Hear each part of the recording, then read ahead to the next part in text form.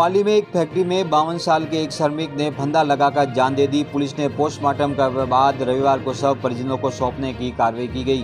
कोतवाली थाने के एसआई सूचनाराम विश्नोई ने बताया कि पाली के मंडिया रोड स्थित सुदर्शन फेब टैक्स में जोधपुर ज़िले के भोपालगढ़ क्षेत्र निवासी बावन साल के हरि सिंह पुत्र लाल सिंह राजपूत काम करता है। वह कई बीते कई दिनों की छुट्टी के बाद काम पर लौटा था। शनिवार को वो फैक्ट्री आया और कुछ देर बाद काम किया। इसके बाद पहली मंजिल पर जाकर फंदा लगा लिया। काफ़ी देर बाद श्रमिक नज़र नहीं आया तो साथी श्रमिकों ने उसकी तलाश की। इस दौरान पहली मंजिल पर फंदे से झुलता हुआ मिला। उसकी बॉडी शनिवार देर शाम को पाली के बोंगर हॉस्पिटल लाई गई, जहाँ घटना को लेकर मृतक के बेटे शक्ति सिंह ने रिपोर्ट दी। पुलिस ने मामला दर्ज कर जाँच शुरू कर देगी